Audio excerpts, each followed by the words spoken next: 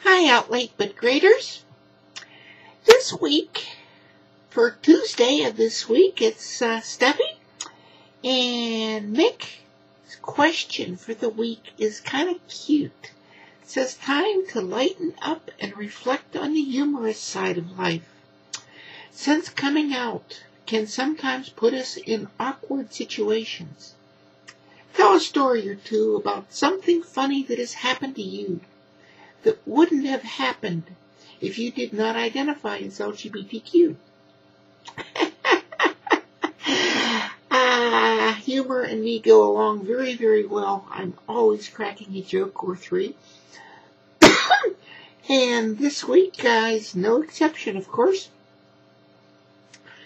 So I am going to talk about the uh, couple things that happened to me very early on in transition. Some of these stories are work related, some of them are not. Uh, but they're all, to me, ended up being a little bit humorous. The first I have to set up, it's called Fishnet Friday. And early on in transition, you know, I was still stealth. I was not out to anyone, or hardly anyone. There was uh, a total of two people at work at the time that, of this story knew about me. And one of the ladies in the front office who did not know about me is a wonderful lady by the name of Norma. And she uh, saw me in a normal guy shirt, you know, with a little stuff in my pockets, and I had two coffee stirrers in there. And so she um, said one day, What are the coffee stirrers for? Is that for snorting Coke? And I told her, uh, no, uh, no, I don't do that sort of thing. I didn't, didn't have a good comeback right at that time. But I thought about it a little bit. The next day, I went up to Norma and said, Hey, Norma, do you remember when you uh, asked me about my little coffee stirrers here and what, you know, what they're for? And I put them in my pocket as a reminder to stop and get some pantyhose on the way home with a complete straight face. And she says, huh, what? What do you, what, what do you mean? He says, yeah, yeah, my, yeah, my pantyhose had some tears in them, so I wanted to, um, uh, so I wanted to get some new ones. And she says, pantyhose? So I rolled up my pants leg and I had a nice pair of fishnet stockings on. Her eyes got about that big around, about as big as a pizza. And then she started cracking up. She said she had to stop the car on her way home uh, a few times just because she couldn't stop from laughing. now at the time she didn't know, but it was a, that was kind of cute at that time. Uh, so that was my uh, coming out to Norma, so to speak. She didn't know at the time, and she didn't for you know a couple months after that either, as a matter of fact. But then it all kind of made sense to her. It eases people in. I use humor a lot. I used it in my transition to help ease people um, into the new me, and it worked. It worked very well. So that was a uh, that started a tradition. So from there then on, um, every Friday she'd come up to me and says, "Hey, you got your fishnets on?" And I'd roll my, my pant leg and say, "Yeah, see, there I go." So it was a fishnet Friday. So occasionally during the week she'd say, "Well, do you have one?" Say, no, just got regular ones on today. And, uh, and then she'd come back and then, so for fishnet Friday, I'd have to have little fishnet stockings on all the time. so that was kind of cute. We had just prior to when I came out publicly at work, we had an absolutely wonderful event called a luau, and it was a wildest Hawaiian t-shirt contest associated with it. So of course I entered. I came in as a wahine.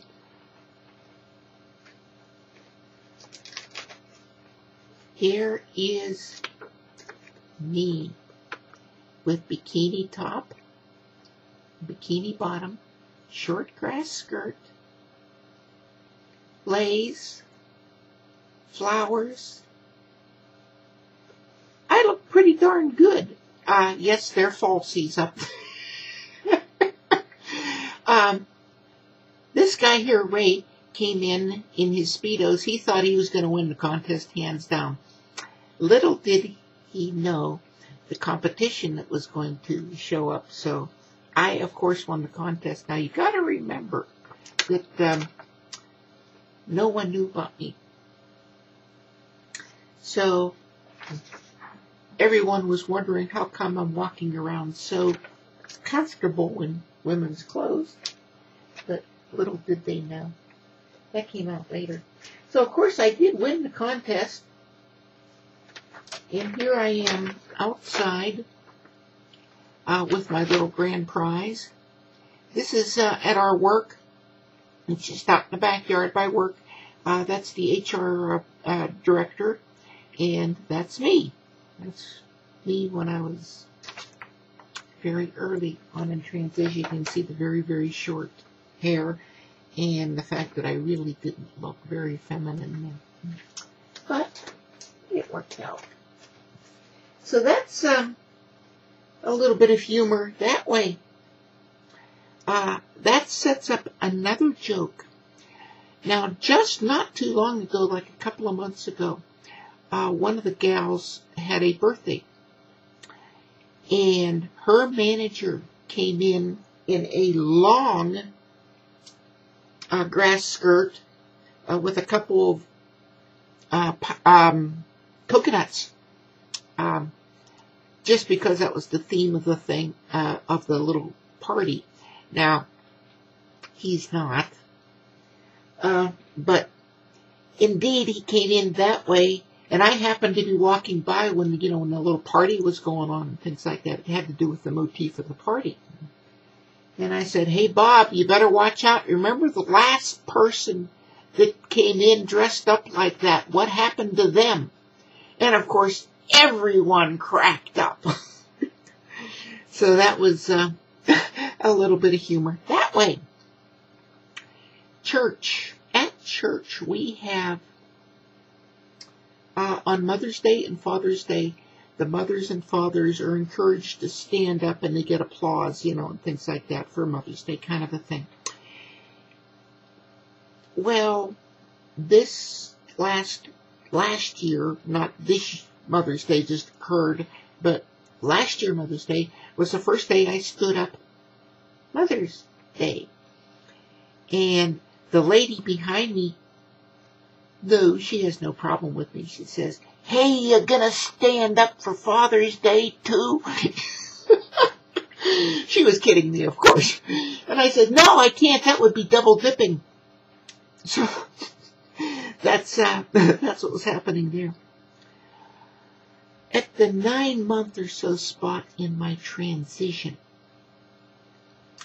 I made sure that everyone who ever knew about me knew about me so I would send pictures of me to friends and say, hi, I haven't talked to you for a while. I look a little bit different now. Um, but I feel pretty good. just send them off just for the heck of it. I just had that urge to be able to do that. So that's me being my little practical jokester kind of a person. But it did allow a lot of people that uh, otherwise um, might not have known about me to know about me. Memory lane. We all know that uh, from, uh, you know, you get your high school or college kind of a thing on the internet. Not too long ago, I decided just for the heck of it to log on to the site. It was on one of my Facebook things, so I logged on to the site and found my old all boys Catholic high school. So, of course, I joined and put a picture of me on it with a little thing that's, you know, hey, I look a little bit different now, folks. Uh, uh, pretty good, aren't I? I still, I'm still waiting. That's a, a, a little thing that's just, you know, setting things up. I'm still waiting for that to happen because that wasn't too long ago. Uh, I'm sure by now a couple people have seen it and wondered, who the heck is that? And because I don't look anything like me, and of course in high school I certainly looked a lot different. But um, for for um, humor for this week, so there's some of the things that I've done. So, folks, how about you? Which um, what humorous things have you done uh, coming out in the LGBTQ community? What uh, little things, video responses, comments, anything like that's welcome. So until next week, this is Stephie saying bye bye, everyone.